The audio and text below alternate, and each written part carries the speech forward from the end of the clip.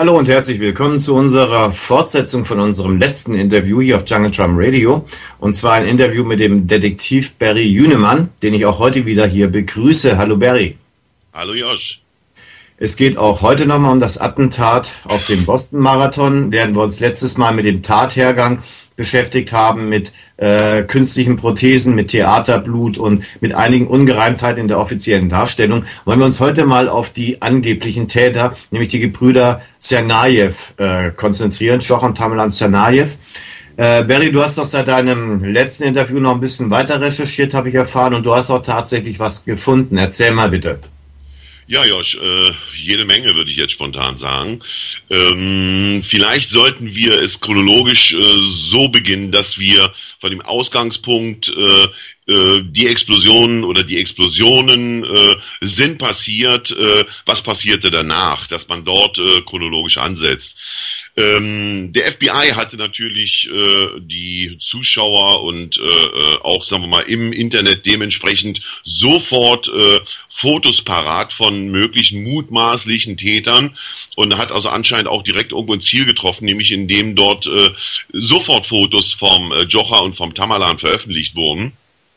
Kurios äh, an der Stelle, dass äh, das FBI oder auch die, die örtliche Polizei alle umliegenden äh, äh, äh, ja, Zuschauer und auch übers Internet dementsprechend äh, äh, verlauten hat lassen, dass man doch alle Fotos bei der Polizei abgeben sollte. Gott sei Dank wurden die also teilweise vorher ins Internet hochgestellt, weil so hat nämlich auch die Zuschauer die Möglichkeit, äh, einmal A natürlich jetzt dementsprechend die Situation zu äh, bewerten und womöglich auch festzustellen, dass es weitaus mehr äh, mögliche mutmaßliche Täter gegeben haben muss, könnte, wie auch immer, wenn man einfach mal davon ausgeht, wenn man den äh, zerfetzten schwarzen Rucksack, der also die Bombe beinhalten äh, sollte, gesehen hat, also ein schwarzer Rucksack mit, mit weißem Futter und einem seltsamen weißen Emblem oben an der Kopfseite, äh, da waren also doch mehrere äh, mögliche äh, Täter äh, vorhanden,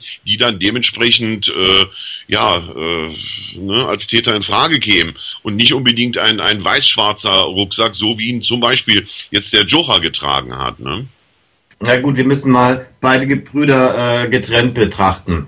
Ja. Hm, der Tamerlan, der wurde ja festgenommen. Und ja. zwar gibt es da Bilder, wo er äh, splitterfasernackt dasteht. Die haben ja. extra gepixelt wie die Teufel, damit die das Bild ins Netz stellen konnten.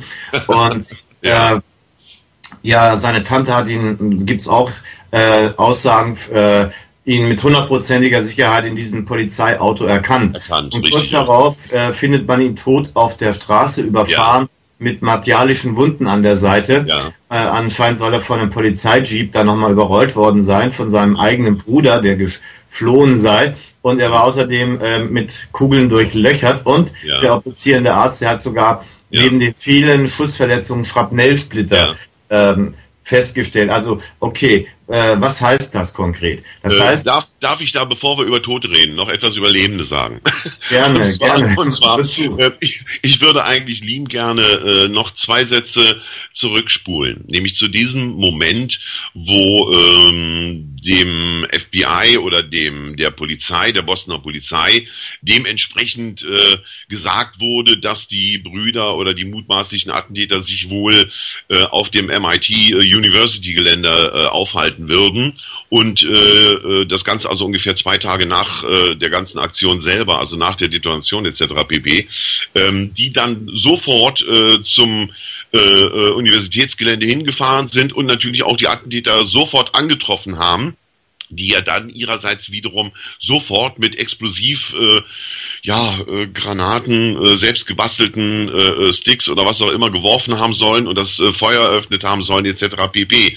Ähm, da möchte ich einfach mal Punkt sagen, weil äh, wenn ich von den Aussagen ausgehe und ich sage, es war ja schon, es war glaube ich fünf nach zwölf, kurz vor eins so die Kante rum, wo also wirklich, äh, sagen wir mal, die die die Dunkelheit, wo die Nacht schon begonnen hat, äh, Zeugenaussagen äh, sagten da mehr oder minder, es begann mit einer Explosion und dann hörte man Schüsse.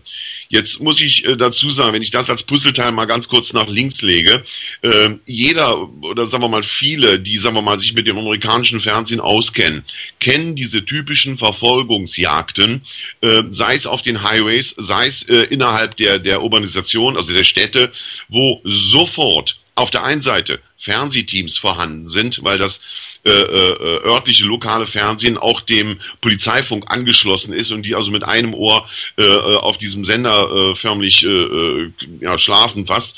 Ähm, auf der anderen Seite auch dementsprechende Hubschrauber sofort zum Einsatz kommen. Die erste Frage, die sich für mich stellt, war das oder war die Explosion eventuell nur ein Wake-up-Call, dass die umliegende ja, Nachbarschaft ähm, etwas hören sollte, ähm, aufmerksam gemacht werden sollte, weil man konnte ja nicht sehen, es war ja dunkel. Prompt ist natürlich auch ein Video aufgetaucht, wo dementsprechend ein äh, äh, ja, wacher Nachbar äh, die ganze Szenerie äh, zumindest per äh, Audiofile, äh, sagen wir mal, aufnehmen konnte. Und man hörte also Schüsse. Auch diese Schüsse, muss ich sagen, klingen also nicht wie ein Schusswechsel, sondern ich sag's mal ganz äh, salopp, als ob man ein paar Mal in die Luft geschossen hatte, um ein Szenarium äh, erklären zu können. Und wenn ich jetzt mal davon ausgehe, dass äh, auf der einen Seite, jetzt gibt's ja auch schon wieder, wieder mehrere Fassungen, auf der einen Seite äh, gab es einen Schusswechsel. Äh, dabei soll ja auch ein Polizist ums Leben gekommen sein, aber auch der Tamalan soll angeschossen oder stark angeschossen worden sein. Dann ist also der äh, Jocher wohl mit dem Wagen wie auch immer geflüchtet und angeblich noch über den Bruder drüber gefahren. Äh, dann gibt's also, die Frage stellt sich für mich natürlich sowieso, äh, warum wurde zum Beispiel nicht hier, wie auch später beim Jocher, sofort ein Helikopter eingesetzt, der äh, ausgerüstet mit einer FLIR-Kamera, also mit einer Wärmebildkamera, ähm, sagen wir mal, die Verdächtigen hätten sofort ausmachen können. Man hätte Reizgas äh, äh werfen können.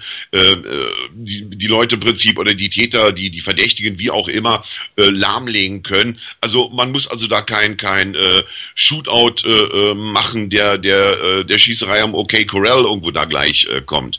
Jetzt äh, kommen die nächsten Geschichten. Dann taucht mit einmal ein Video, ein Polizeivideo, so wie es aussieht, auf, wonach man äh, jetzt einen, einen entkleideten Mann sieht. Und wie du schon richtig sagtest, die Tante vom Tamalan sagte also, äh, vom, vom Jocher sagte also ganz klar, sie hätte dort äh, den Tamalan äh, erkannt. Jetzt frage ich mich, wenn der also schon mehr oder minder erschossen war und auch schon vom Wagen überrollt wurde, der muss das irgendwie überlebt haben, weil auf dem Video sieht er nämlich relativ fit aus. Dann äh, äh, erfährt man aber wiederum nichts, sondern man bekommt also ein äh, Foto aus, aus, aus der Pathologie oder aus, aus der pathologischen Abteilung, wo man also einen, einen durchlöcherten und malträtierten äh, äh, Körper sieht, ähm, den, der also, sagen wir mal, jetzt äh, äh den, den Tamalan darstellen soll.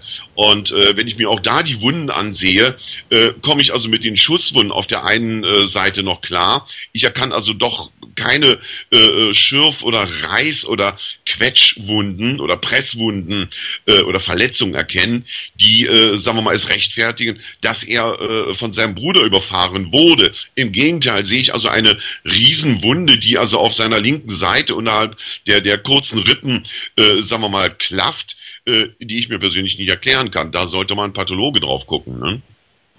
Ja, und dann eben diese Schrapnellverletzungen, von denen der obduzierende Arzt gesprochen hat. Schrapnell, kurze Erklärung, das sind Bombensplitter von Splitterbomben. Und ja. äh, dieser Tote, der muss also von denen übersät gewesen sein. Ja, hat er äh, neben seiner eigenen Bombe gewartet, ob sie auch funktioniert und ist dann trotzdem noch losgelaufen. Das klingt alles sehr komisch. Richtig, richtig, richtig, richtig. Ich meine, es, es ist ja auch die Situation, äh, wenn wir jetzt weitergehen, in dem Augenblick äh, äh, begann also dann, oder gut, ich will noch einen Satz vor äh, wegnehmen. Ähm, es war natürlich, sagen wir mal, äh, sofort auch, äh, äh, sagen wir mal, die Möglichkeit da, Zeugen zu vernehmen. Ich erinnere mich da an ein Interview mit einem älteren Herrn, 64 Jahre und äh, vom Beruf Zahnarzt, woher ich das weiß, weil die äh, äh, Reporterin natürlich äh, über die oder um die Reputation des Zeugen äh, äh, ja auch äh, ne, gewahr war in dem Augenblick, wo es also dann hieß, äh, unser Zeuge ist glaubhaft, der ist immerhin Zahnarzt und der hat ein seriöses Alter und dementsprechend äh, wird das auch stimmen, was er sagte. Nämlich halt, wie gesagt, es war dunkel, man konnte nichts hören, man konnte nichts sehen, es war eine Explosion und so weiter und so weiter. Gut, das nur noch, nur noch mal am Rande. Äh, jetzt werden also auch schon reputierliche Zeugen, sagen wir mal, irgendwo vorgeführt, wo man also, wo das Fernsehen eigentlich schon sagt, die Mainstream-Medien, ähm, bitte liebe Zuschauer, äh, ihr könnt uns wirklich glauben, guck mal, ne, hier ist also keiner, der ist arbeitslos oder was auch immer, sondern das ist ein Zahnarzt, dem muss man glauben. So, dann begann im Prinzip ja die äh, äh, Flucht des äh, Joha und äh, äh, halb Boston, später ganz Boston wurde abgeriegelt, ähm, wo man anstellt, äh, das Spiel hieß ja schon 10.000 zu 1, nämlich die Autoritätsgewalten waren, glaube ich, äh, äh, bei, bei zwischen 9.000 oder 10.000 Mann gegen einen flüchtenden äh, Jocha. Äh, äh, irgendwann war es halt dann die Situation, dass man sagt, okay, äh, man hatte also da äh, Vermutungen, dass er wohl in einem Viertel in Watertown äh, äh, sein sollte. Und äh, äh, ja, dann kam mit einmal ein sehr, sehr äh, suspektes Video äh, äh, in, in, ins Netz, ähm, was sagen wir mal einmal ähm, ist also wie gesagt der der Jocher wurde gestellt, es begann eine Schießerei und so weiter und so weiter und angeblich wurde er gefasst und dann wie gesagt das Video und da war halt die Situation, dass dort mit einmal ein Helikopter mit einer Flirkamera, also mit einer Wärmebildkamera, äh, das Boot gezeigt hat. Ähm, Jetzt stellt sich für mich natürlich erstmal gen generell die Frage, ähm, wer wusste denn so genau oder woher wusste man so genau, dass dort wirklich der Jocha äh, in diesem Boot lag? Ich sag mal, das soll ja der Besitzer von dem Boot gesehen haben. Der hat irgendwie Blutspuren entdeckt, hieß es, ist dann zum Boot, hat mal unter die Plane, unter die Parsennen geguckt und hat da jemanden gesehen und ist dann zum Telefon und hat die Polizei angerufen. Würde er sich nochmal überlegen, ob er das nochmal macht, denn das hat ihn definitiv ein Boot gekostet. Äh, einmal das, auf der anderen Seite ist natürlich eine tolle Story. Auf der anderen Seite hätte es genauso gut, ich sage jetzt mal, ein Obdachloser sein können, der sich an eine Dose geschnitten hat und wollte da einfach nur über, übernachten. Zum Zweiten, seit wann wird auf jemanden geschossen, der, sagen wir mal, jetzt nicht im Sinne des äh, äh, äh, ich muss mich wehren, sagen wir mal, schießt und ich schieße dann in dem Augenblick zurück, sondern da war ja gar keine Reaktion. Und auf mhm. dem äh, Wärmebild-Video sieht man also ganz deutlich, dass dort wohl ein, ein äh, Körper regungslos gelegen hat. Also da war also von, von irgendwelchen Aktivitäten überhaupt nicht die Spur. Und äh, dann schlugen nacheinander vier Schrapnellgeschosse ein in das Boot. Und das, das ist für mich das ist für mich eine Situation, wo ich sagen muss, Moment, äh, äh, ohne äh, äh, kommen Sie jetzt da raus oder wir schießen oder wir tun, wir machen ohne Gerichtsverhandlung, ohne genau zu wissen, äh, okay, oder ohne genau vorher äh, äh, äh, zu identifizieren, ist das überhaupt, wird da mal eben äh, viermal auf dem Boot geschossen. So, und dann kommt die Situation, wo man auf der einen Seite, ja, ich sag mal, kaum, es existiert auch noch ein Foto im Internet, wo man also kaum Blutspuren sieht, bis auf so ein also ein bisschen, würde ich mal sagen, am Rande des Bootes, da ist ein kleiner Blutfleck und so weiter und so weiter. Ähm, wenig später sieht man aber ein Foto, wo er also dementsprechend da ja zusammengeschossen und er soll sich dann auch nochmal in, in, äh, in den Hals geschossen haben, etc. Äh, also das Ganze müsste blutüberströmt gewesen sein, dass der überhaupt noch da aus dem Boot steigen konnte, war für mich die Frage. Die nächste, ja. die nächste Frage, äh, in dem Augenblick, wenn sich jemand mit einer Waffe in den Hals schießt, äh, ich möchte also gerne mit einem Pathologen darüber reden, in welchem Winkel man da schießen muss, dass man nicht den Kopf trifft, nämlich dass der Kopf im Prinzip zerplatzt. Äh, ich, ich weiß es nicht. Ja, aber es gab noch mehr Ungereimtheiten. Gerade das mit dem, äh, also zum einen, dass eben das ganze Boot sauber war, der soll stundenlang Verletzer drin gelegen haben. Richtig. Und dann hätte man natürlich auf diesem weißen Bootsboden da Blutspuren gesehen, da gab es aber keine. Richtig. Kann jeder ja. selber sich raussuchen, bei Google Bildersuche, gibt ja. bitte ein Boston, Bombe, Boot. Ja, ja, dreimal B. Und dann kriegt ihr garantiert dieses Boot irgendwo rein. So. Äh, ein weiterer Punkt war, ja, ich bin nun Heilpraktiker und kenne mich ein bisschen mit der Anatomie aus. Wenn sich jemand in den Hals von vorne schießt, dann trifft er entweder seinen Kopf, also dass ihm das Gehirn auf gut Deutsch zur Schädeldecke rausspritzt, oder aber er hält tiefer, dann trifft er seine Halswirbelsäule, Da sitzt sein Herz-Kreislauf- und Atemzentrum, die Medulla oblongata. Und außerdem ist dort seine Halswirbelsäule. Beides durchtrennt, bist du sofort tot. Äh, hätte er ein bisschen zur Seite gehalten, hätte er eine seiner Halsschlagadern erwischt. Und zwar entweder die innere Karotis oder die äußere Karotis. Also auf jeden Fall wäre er tot gewesen. Es gibt nur eine Möglichkeit, in den Hals zu schießen, ohne tot zu sein. Und das ist von der Seite. Und äh, jemand, der sich umbringen will, der schießt nicht von der Seite in seinen Hals. So dämlich ist er nicht. Ja, äh, und deswegen äh, müssen wir davon ausgehen, dass die auf ihn geschossen haben, dass sie ihn auch äh, kräftig angetötet haben, aber gerade so, dass er es noch überlebt, damit sie einen lebenden Zeugen präsentieren können, entschuldigen, aber eben so, dass er auch selber keine Aussage mehr machen kann. Äh, auffallend ist auch, dass er sofort völlig isoliert wurde von der Öffentlichkeit. Kein Anwalt, niemand darf mit ihm sprechen. Und äh, das spricht Richtig. auch von meiner Meinung nach dafür, dass äh, er im Grunde unbewaffnet mit erhobenen Händen aus dem Boot ausgestiegen ist und dann haben sie ihn einfach abgeknallt. Äh, man sieht es ja auch deutlich auf dem Foto, wo er gerade aus dem oder im Begriff ist, aus dem Boot zu steigen. Und ähm, ich sag mal, äh, ähm, hätte es überhaupt so weit kommen müssen. Weil äh, inzwischen gibt es ja weitere Videos und sogar ein Video, ein Privatvideo, wo man die erste Schießerei im äh, MIT Campus äh, quasi mh, ahnen kann und etwas hört, wo äh, er auch äh, ruft, äh, chill out, chill out, we give up, we give up. And, und äh, and, jetzt soll ich schon Englisch weitermachen, Gott. Äh, und auch äh, da sagt er, wir waren es nicht. So, in dem Augenblick, wenn da jemand schon aus seiner Verzweiflung heraus äh, der Polizei entgegenschreit, äh, äh, beruhigt euch, beruhigt euch, äh, wir geben auf, wir geben auf, wir waren es nicht und so weiter und so weiter. Äh, also ich glaube kaum, dass, äh, dass die weiter schießen würden. Die würden die Waffe wegwerfen, die würden sie auf den Boden packen oder Hände auf den Kopf, was auch immer. Aber alles, aber nicht unbedingt flüchten. Und Während die Polizei nonstop weitergepfeffert hat auf diesem Video. Ab, absolut, absolut. Davon, davon muss ich einfach ausgehen.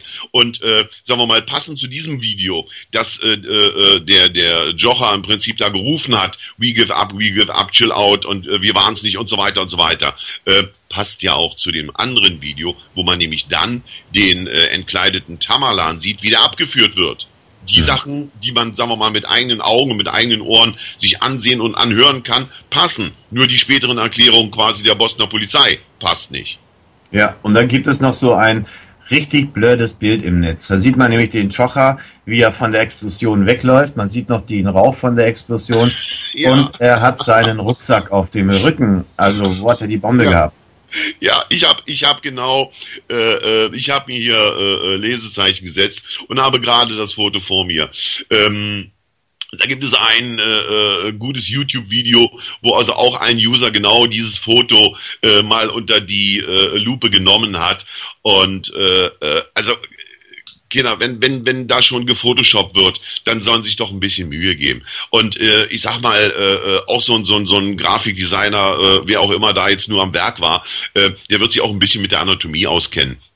Aber wenn ich jetzt äh, äh, derartig billig, muss ich sagen, den äh, Ellenbogen und äh, den, den Unterarm, also quasi jetzt den Winkel des, des Arms einfach rauskopiere und den einfach weiter nach hinten schiebe, äh, dass der also fast einen anderthalb Mal so langen Arm bekommt, äh, sorry. Ähm, äh, kann, kann keiner mehr kaufen, sage ich. Ne? Und ja. äh, auf einem anderen Foto, wie gesagt, ähm, äh, was also ganz, ganz interessant ist, was ja angeblich von einem Privatmann, der dort äh, äh, äh, mit teilgenommen hat am Marathon mit seinem äh, äh, Smartphone aufgenommen wurde. Äh, was man allerdings nicht bedacht hat, äh, dass äh, er hält also auch sein iPhone noch äh, oder sein, sein Smartphone, je nachdem, äh, im, in die Kamera und äh, man kann da das Bild ein bisschen erkennen. Auch das kann man heutzutage vergrößern. Und kurioserweise äh, äh, sieht man dort, sagen wir mal, dort, wo der, wo der Rückenansatz ist, äh, ja weiße Pixel, die da nicht hingehören. Und äh, da sieht man also ganz deutlich, da wurde gefotoshoppt, da ist einfach äh, stümperhaft gearbeitet worden und äh, äh, sorry, Joha hatte seinen Rucksack, als er den äh, Platz äh, der Explosion da verlassen hat. Insofern frage ich mich, äh, ja, Wer seinen, Rucksack allerdings, wer seinen Rucksack allerdings nicht mehr drauf hatte, das war ein Mitarbeiter von einer Söldnerfirma. Die wurden nämlich auch gefilmt. Das gibt es Söldnerfirmen wie Blackwater, äh, später Xi-Service oder heute äh, Academy genannt, die ja. sind in Afghanistan und im Irak unterwegs gewesen, äh, um Soldaten zu ersetzen, haben dort also im Grunde Kriegshandwerk ausgeführt, wurden dafür bezahlt und mussten dann eben nicht mit Staatsehren begraben werden, wenn sie mal gefallen sind. Deswegen äh, liebt die US-Regierung solche privaten Firmen. Es gibt auch noch eine andere Firma, die sowas macht, die heißen Kraft. Und beide haben eben ein Logo, das ist so ein Totenkopf, äh, der Punisher. Und äh, jetzt äh, muss man davon ausgehen, dieser eine Mitarbeiter, der hatte seinen Rucksack nicht mehr auf und das war genau, dieser Rucksack sah genauso aus wie einer von den beiden zerfetzten äh, Restbombenrucksäcken, so muss man absolut. sagen. Also das ist sehr, sehr auffallend. Ja, absolut, absolut, ja, ja, ja, ja, ja. Also äh, ich sag mal, da ist auch eine Situation. Man sieht auch, äh, es wird ja inzwischen, äh, ich versuche gerade mal den äh, äh, Reiter bei mir zu finden, äh, weil die Medien stürzen sich ja schon äh, äh, sagen wir mal, ein Stück weiter äh, ins Getümmel, nämlich, äh, dass es dort jetzt nicht nur, äh, also die Täter nicht nur die beiden äh, Tschernaev-Brüder gewesen sein sollen, sondern jetzt sind ja drei weitere inhaftiert.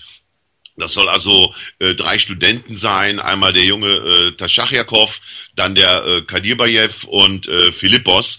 Äh, das sind auch, äh, ich sag mal, äh, Jungs um die 19 oder 20 Jahre alt, wo man also auch eventuelle Zusammenhänge äh, sucht. Und äh, das geht auch schon durch die äh, Medien bei Fox News äh, live, dass also dementsprechend äh, äh, sagen wir mal, die Bombe womöglich mit einem, äh, wie sagt man, mit einem, einem mit einer Fernsteuerung, äh, die man normalerweise für diese ferngelenkten Autos nimmt, ne, dementsprechend äh, gezündet wurde. Und äh, dass also der der mögliche äh, Auslöser, äh, sagen wir mal, sogar noch in der Nähe war und muss also das Spektakel gesehen haben.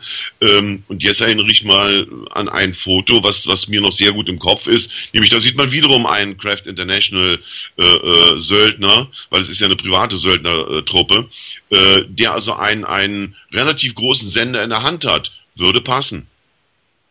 Nun hat ja der äh, Autor und Herausgeber vom Kompakt-Magazin, Jürgen Elsässer, äh, Herr Elsässer, Sie schulden uns den Dank, Kompakt-Magazin, äh, der hat nun äh, eigentlich auch sehr richtig festgestellt, dass da was nicht stimmt, dass das beides Tschetschenen waren. Wäre das eine False Flag gewesen, dann hätten sie einen Iraner beschuldigt oder einen Koreaner oder noch besser einen Araber, dass es den ja. Syrern in die, Hand, in die Schuhe schieben können. Notfalls auch einen faschistoiden Amerikaner, um die Waffenkontrollgesetze äh, verschärfen zu können. Aber ja. ausgerechnet zwei Tschetschenen, das passt nur gar nicht. Im Gegenteil, das spielt ja sogar äh, Väterchen Putin in die Hand. Denn äh, der hat ja im Grunde genommen immer äh, prophezeit, man müsste sich gegen den islamistischen Terror äh, mehr zur Wehr setzen. Und da wurde für immer getriezt von den USA. Äh, gerade was Tschetschenien betrifft. Und jetzt äh, kriegt er auf einmal diesen Freipass. Den hat er natürlich genutzt. Der ist sofort äh, eilenden Fußes ins russische Staatsfernsehen geeilt und ja. hat dann dort also bekannt gegeben, ja, er stimmt da den USA zu, dieser islamistische Terrorismus, der ja. sei nun wirklich sehr gefährlich und da müsste man mehr tun. Wobei man an der Stelle nochmal erwähnen muss, äh, dieser extreme Islamismus, ja, der äh, ist eigentlich gar kein Kind des äh, Islam, sondern ein Kind äh, der äh, Londoner äh, Börse sozusagen, der, der Street of, äh, des, der London Street oder der Wall Street, die haben damals vor etwa 100 Jahren äh, im Grunde genommen diesen Islamismus überhaupt erst aufgebaut, um dadurch den Islam besser kontrollieren zu können. Ja, ja. ja, ja. So, das habe ich losgekriegt. Dann gibt's aber noch einen weiteren Hintergrund, nämlich dass die äh, beiden Janayas vielleicht doch in der Tat eine Terrorismusausbildung bekommen haben, aber nicht von irgendwelchen Islamisten, sondern von der CIA. Von in der, der russischen Zeitung ist Vestia, ja. da steht äh, nämlich, dass der Tamerlan äh, Januar bis Juli 2012 an Seminaren des sogenannten Kaukasus Found in Georgien teilgenommen haben soll. Ja, und das ja. ist eine Gruppe, die sehr nah der Jamestown Foundation äh, steht und die ist wiederum CIA gesteuert. Vielleicht weißt du da noch was. Äh, gut, ich sag mal, es muss natürlich eine gesamte Background-Story soll ich jetzt sagen, gebastelt werden. Äh, das heißt, äh, ähm, wenn man, wenn man jetzt wirklich, sagen wir mal, die äh, ersten Punkte nimmt, dass man also sagt, äh, gut, äh, äh da ruft jemand, äh, äh, wir waren es nicht, wir waren es nicht und, und äh, wir geben auf und so weiter und so weiter, die werden festgenommen, dann werden die abgeschossen. Äh, dann äh, sieht man im Prinzip Leichen, die vorher noch irgendwo lebendig waren, dann sieht man das Blut und so weiter und so weiter. Äh, dann frage ich mich, was, was, was soll im Nachhinein noch diese Background-Story? Das heißt, ist es für mich eigentlich nur eine gewisse Alibi-Funktion, wo man äh, äh, die Amerikaner sprechen immer so schön von von dass da die Patsies gesucht werden also sprich die die Sündenböcke gesucht werden. Äh, natürlich kann es da mögliche Verbindungen gegeben haben äh, wobei ich aber mal davon ausgehe dass eventuell selbst wenn Tamalan äh, äh, sagen wir mal zu dieser oder bei dieser Schulung war äh, oder aus Jocha äh, sagen wir mal äh, über seinen Bruder äh, in diese Thematiken äh, involviert waren die aber mit Sicherheit nicht wussten wofür sie später einmal ge- oder benutzt werden sollten. Gut, äh, wir kommen zu dem Polizeichef. Ja. Der Polizeichef, das ist ja eigentlich eine Nummer von sich, äh, für sich. Der Bostoner Polizeichef, ein gewisser ja. Ed Davis, ja. der hat sich eine kleine freudsche Fehlleistung erlaubt. Äh, das, äh, die Theorie von Sigmund Freud, die besagt, dass ein Mensch manchmal versehentlich etwas sagt, was er eigentlich gar nicht sagen wollte, weil er es in Wirklichkeit gerne gesagt hätte. Ja? ja. Beispiel die Frau Merkel, die hat ihren CDU-Rivalen, den Roland Koch, mal in der Rede versehentlich als Roland Kotz bezeichnet. Ja. Oder der Pressesprecher von unserem äh, von und zu Gutenberg, der meinte dann auf diese Plagiatsgeschichte angesprochen, nein, also wir können auf jeden Fall davon ausgehen, dass dieses Plagiat dass diese Doktorarbeit kein Plagiat ist. Ja, ja, und, ja, ja. Und diese äh, nimm, nimm, den aktuellsten Fall. Äh, da ist äh, äh, äh, George Bush interviewt worden und er hätte also auch mit seiner Frau nebenan, er hätte fast Conspiracy gesagt. Beim Consp äh, wie gesagt, äh, konnte er sich im Prinzip noch, noch fangen und hat also dann dementsprechend gesagt, halt von wegen, äh, ne, äh, von wegen äh, Attentat, Plot und so weiter und so weiter. Also auch da ja. wäre ihm äh, fast ein Conspiracy, also Verschwörung rausgerutscht. Ne? Ja, und seine Frau hat ihn dann nochmal vorwurfsvoll angeguckt, dann hat er es ja, kapiert. Naja, das gut. gab Ärger danach.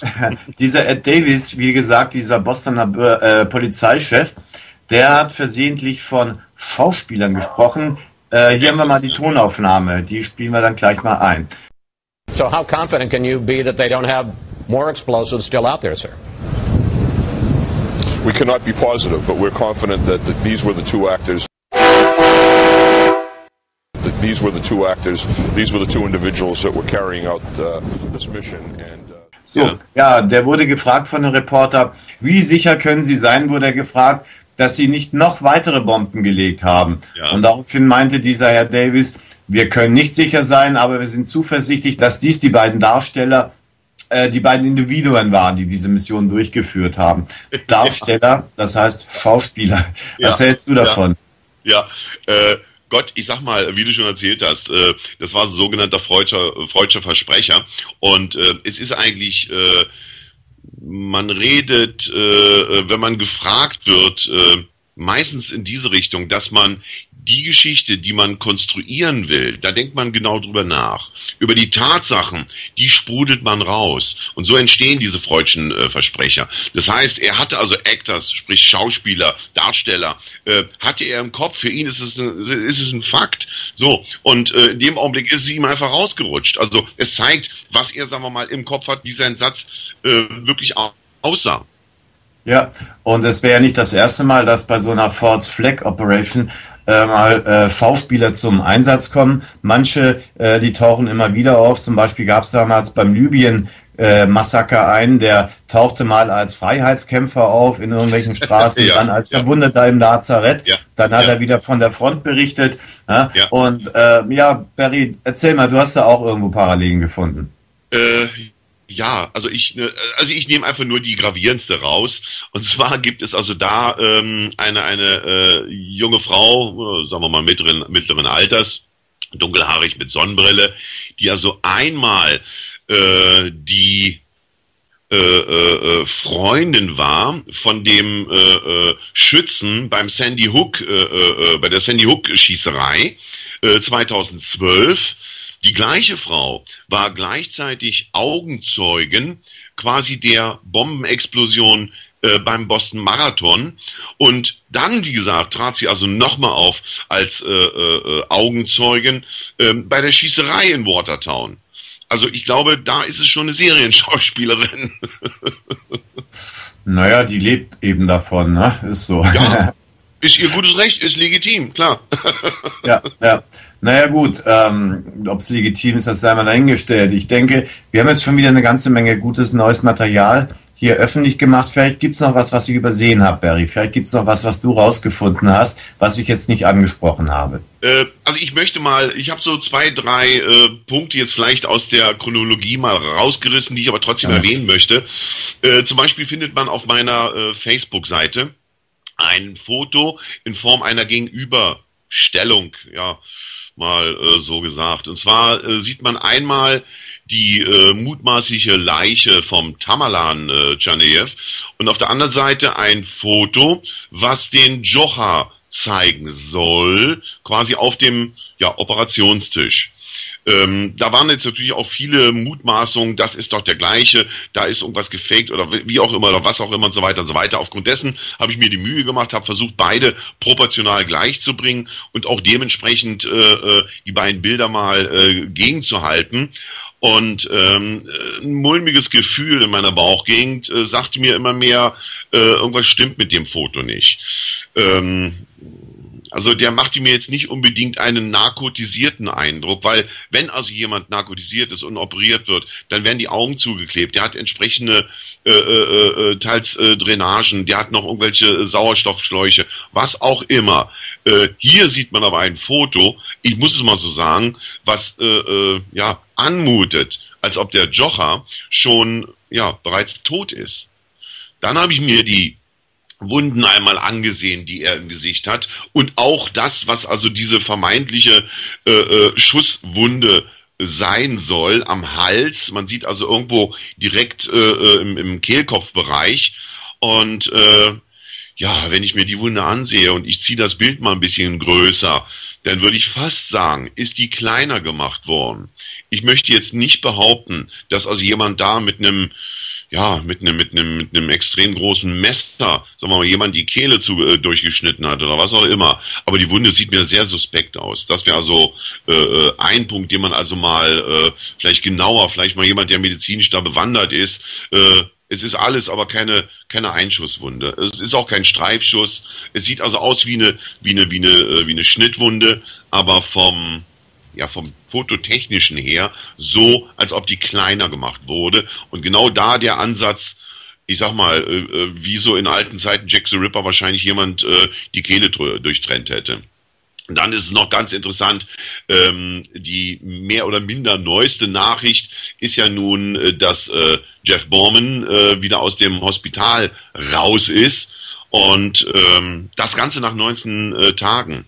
Äh, er hat also auch schon äh, beim äh, äh, Bostoner Eishockeyspiel der Bruins äh, wohl auf dem Eis äh, der, der Menschenmenge zugejubelt und äh, äh, ja, also wenn man da seine, seine, seine Stümpfe sieht, dann frage ich mich, äh, nach 19 Tagen, die sehen sowas von abgeheilt aus, sowas von äh, äh, schon gepflegt äh, dass ich mir also wieder die Mühe gemacht habe und wieder bei ottobock.com nachgesehen habe und dann nachgeguckt habe, wie lange dauert eigentlich so eine Wundheilung, wie lange dauert so eine Wundbehandlung, wie, äh, äh, was ist notwendig, um, sagen wir mal, Stümpfe, wie es jetzt zum Beispiel bei den, bei den Beinen ist, sagen wir mal, auf eine mögliche zukünftige Prothese vorzubereiten. Und dort konnte ich also lesen, von Medizinern im Prinzip, jetzt nicht von irgendeiner Bostoner Polizei oder von einem äh, Mainstream-Journalisten, dass also eine bei einer Amputation, da äh, wird immer von einem Bein geredet, wie gesagt, unser Jeff Baumann hat ja direkt beide Beine verloren, ähm, dass also die einfache Wundheilung mindestens drei bis vier Wochen dauert, die gesamte Geschichte natürlich sogar noch länger ist, bis das innere Gewebe verheilt ist, dass zum Beispiel auch sich im Stumpfgewebe Ödeme bilden, das heißt die Stümpfe natürlich logischerweise auch äh, erst dick werden etc. pp. Also das Foto, was man also im äh, Internet sehen kann, dass er nach 19 Tagen raus ist, äh, sorry, kaum kann nicht sein. eine Minute. Äh, Otto Bock, das ist eine Firma, die äh, Prothesen herstellt für Richtig. Leute, die durch Amputation Gliedmaßen verloren haben. Ja. Und da müssen die natürlich auch um das medizinische drumherum ein bisschen Bescheid wissen. Ja. Ja. Herrlich, wieder viele schöne, frische, taufrische Widersprüche aufgetrieben hier. Und die Resultate folgen ja auch auf dem Fuße, weil äh, wenn man sich mal ansieht, was jetzt, sagen wir mal, in den USA los ist, äh, da gibt es also Internetseiten, wo dann äh, Nachrichten rüberkommen wie neues Gesetz, Kalifornien nimmt gefährlichen Personen Waffen weg. Klar, jetzt hat man natürlich freien Zugriff. Ähm, es gibt demnächst, oder die ist, glaube ich, sogar schon jetzt äh, ins Leben gerufen, eine Hotline in, in Florida, äh, wonach also äh, Menschen denunziert werden können, die dann angeblich gegen die Regierung sprechen. Weiter, dass die USA in, in der äh, äh, Wüste ein riesen Giga-Spionagezentrum bauen wollen oder schon mit dabei sind und auch jetzt, dass die USA dementsprechend äh, den Geheimdiensten die Überwachung der finanziellen Angelegenheiten aller Bürger gestatten und so weiter. Das heißt, äh, es, es äh, äh, sickern jetzt immer mehr massive, äh, äh, ich sag mal, Kontrollinstrumente durch, wo man einfach sagt, naja gut, äh, ne, das eine war die Ablenkung, das wurde in dem Augenblick in die Wege geleitet und jetzt werden die Zügel angezogen. Ja, und also, dann Welcome NWO, ne? Ja, also sagen wir es so, den Punkt eins, dass gefährliche Personen entwaffnet werden sollen, das kann ich nicht so richtig glauben. Die werden ja nicht ihre Polizei entwaffnen, da wären sie ja schön blöd. ne? Richtig, ja. Naja gut, dann wären wir für heute eigentlich schon soweit durch mit unserem Interview. Äh, ein drittes wird auch noch folgen und wie ich hoffe auch noch viele weitere. Beim nächsten, da geht es dann um Know-how, also was Recherche und investigative Ermittlungen betrifft. Wie kriegen wir es raus, wenn andere es nicht wollen? Äh, ja. Mir hat Spaß gemacht. Ich hoffe dir auch, Barry vielleicht geben wir den Zuschauern eine, oder den Zuhörern, muss man sagen, eine kleine Hausaufgabe. Und zwar, ähm, der Jeff Borman hatte doch zum Beispiel gesagt, dass er dem Attentäter in die Augen gesehen hat. Also muss im Prinzip ja nun entweder der Tamalan oder der Jocha äh, unmittelbar neben ihm gestanden haben. Wie auch immer. Ähm, soll man doch mal äh, äh schauen, ob man nicht irgendwo ein Foto findet, äh, wo man den Jeff Baumann neben äh, Jocha oder neben Tamalan stehen sieht. Ich ja, gute glaube, Idee. Es, es wird eine never-ending Story, aber äh, äh, es wäre zumindest mal ein Ansatz, äh, dass man da mal äh, nachgucken könnte. Ne? Wenn sich jemand die Mühe macht, wir wären ihm dankbar, kann er dann sein Material an info at jungle-drum.de schicken. Ich wiederhole nochmal info at jungle-drum.de oder eben an info at Detektar Jünemann. Aber da würden wir oder uns. Oder auf meine Facebook-Seite posten. Noch oder auf die Facebook-Seite gucken, genau. Ja. Alles klar. Ja, dann sind wir soweit durch für heute. Ähm, ich Na, hoffe, dir hat Spaß gemacht. Wie immer, natürlich. Ja, dann hat es uns also beiden Spaß gemacht und Ihnen, liebe Hörer, hoffentlich auch. Und an dieser Stelle verabschiede ich mich und sage Tschüss, bis zum nächsten Mal. Alles klar, Tschüss an die Zuschauer. Tschüss, Josh. Zuschauer, Tschüss, Josh. Zuschauer, Tschüss, Josh. Zuschauer, Tschüss, Josh. Zuschauer, Tschüss.